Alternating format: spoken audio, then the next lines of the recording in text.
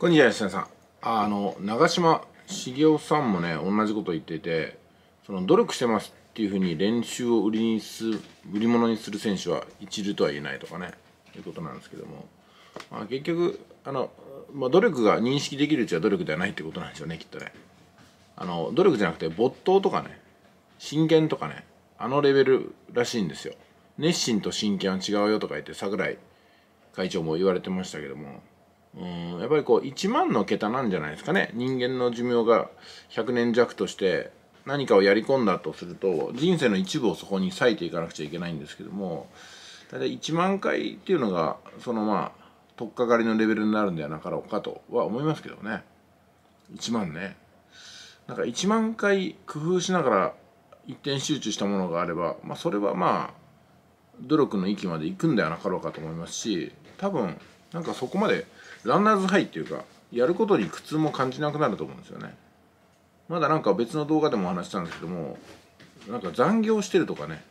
時間内に終わらないとか生活に傷をつけながらやってるっていううちはまだなんかこう修行中の身というか三流の身で、まあ、一流の人ってなんかね全てに余裕があるっていうかねあの無駄な時間っていうんじゃないです余裕な時間ですよね。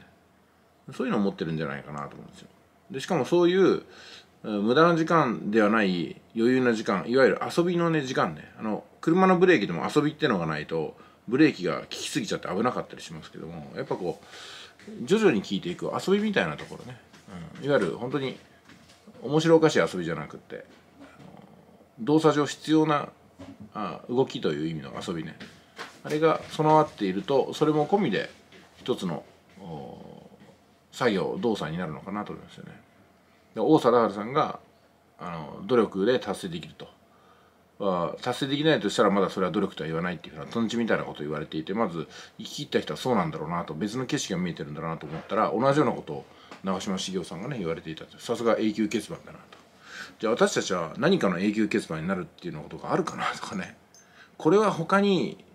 できるやつはいないだろう。とりあえずこれの道だったら日本一じゃないかなっていうふうに、まあ、自負できるものとあとはあの他者にね認めてもらうものがあるかなと思ったらやっぱりね YouTube のアップロード動画1万本とか2万本っていうレベルとかサイト1万サイト量産とかうんなんか顧客対応1万人とかっていうのはなかなかないんじゃないかなと思いますよね、まあ、そのレベルがスタートラインってことですかね。だから月収100万も別に目標値じゃなくってあくまでもスタートラインで、うん、まあ我々は別に退職金があるわけじゃないですしなんか公的な保険があるわけじゃないしさまざまなリスクにさらされているとしたら会社員の月給30万と私たちの月収100万はまあトントンなんじゃないかなと思いますけどね。いってらっしゃい。